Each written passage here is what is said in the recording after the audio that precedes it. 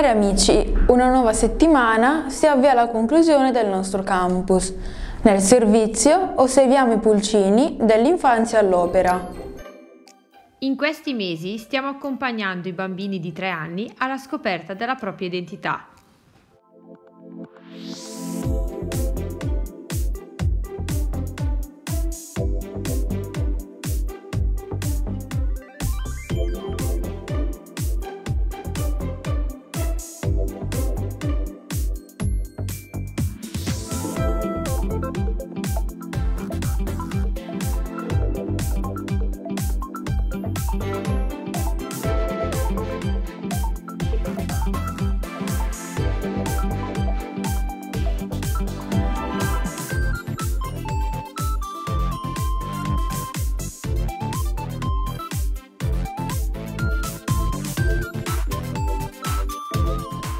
Offrendo loro la possibilità di sperimentare, scoprire, esprimere le proprie potenzialità ed emozioni attraverso l'espressività, il movimento, la stimolazione sensoriale e la rappresentazione grafica.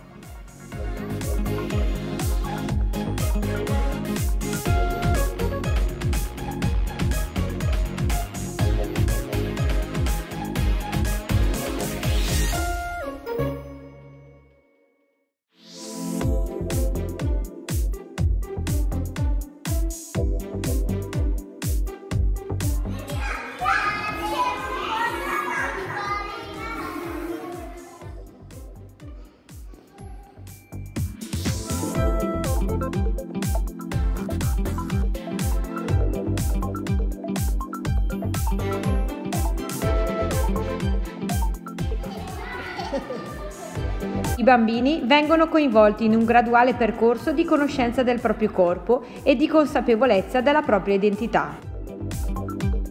Le attività sono progettate tenendo conto delle diverse capacità dei bambini, cercando di favorire la partecipazione e la comprensione di tutti.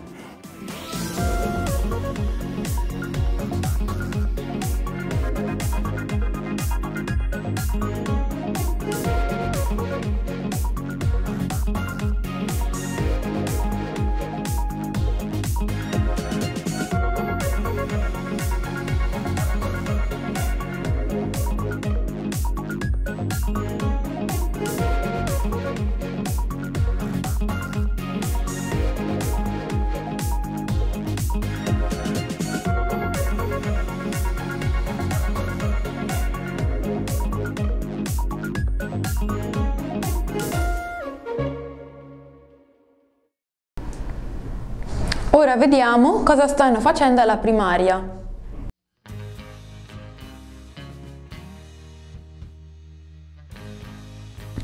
Le classi prime stanno imparando lo stampato minuscolo, prima in gruppo, attraverso il riconoscimento delle lettere sull'alfabetiere di classe, poi lavorando in autonomia sul proprio tablet. L'allenamento è proseguito con i giochi interattivi e gli esercizi sul libro.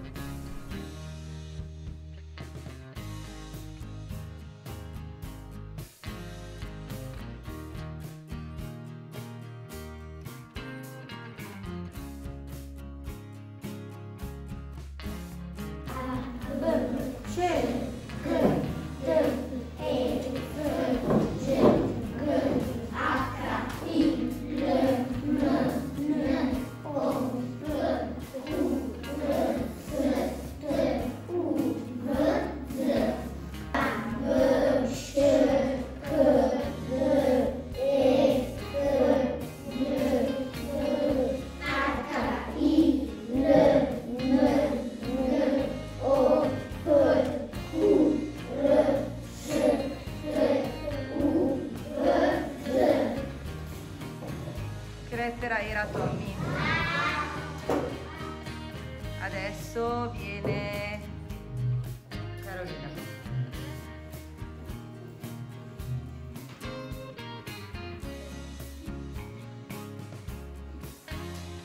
Te la tira Carol? È giusto bambini?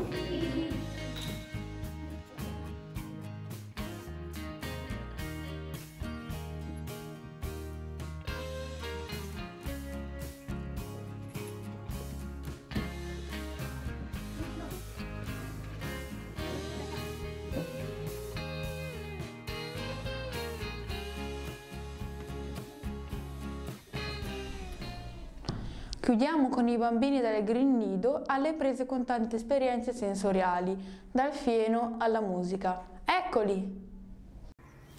Questa settimana abbiamo deciso di parlarvi di due giornate entusiasmanti.